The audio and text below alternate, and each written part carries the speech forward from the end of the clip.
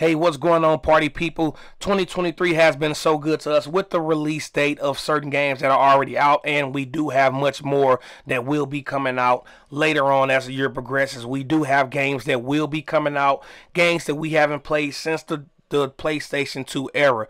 So far in 2023 has been crazy with releases and hype around games. Not just Marvel Spider-Man 2, but games like Hogwarts Legacy, Naruto Storm Connection, Dragon Ball Z Budokai Tenkaichi 4, which is which was a great game if you guys played this in the PlayStation 2 console, and Star Wars Jedi Survivor. And we just received a huge leak about Marvel Spider-Man 2.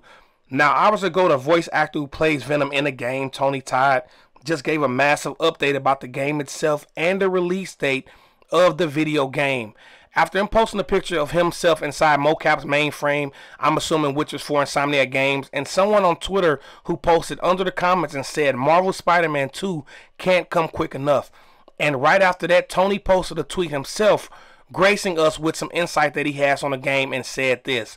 Looks like September, massive publicity coming in August, commercials start dropping in August, so I'm told.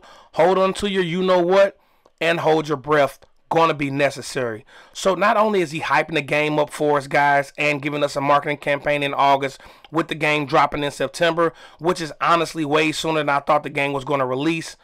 I was honestly thinking this game was going to release in October, but hey, to play the game a month early is always fun.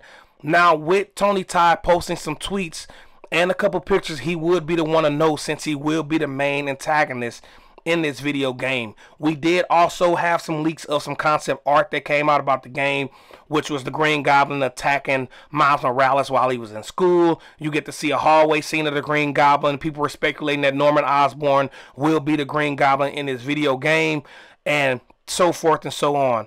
Now, I just want to know what you guys think, man. How do you guys feel about this hype? How do you guys feel about this speculation that's going around with this game coming out? I want to know what you guys think in the comment section below. Are you guys excited to see and play Marvel Spider-Man 2? Why or why not?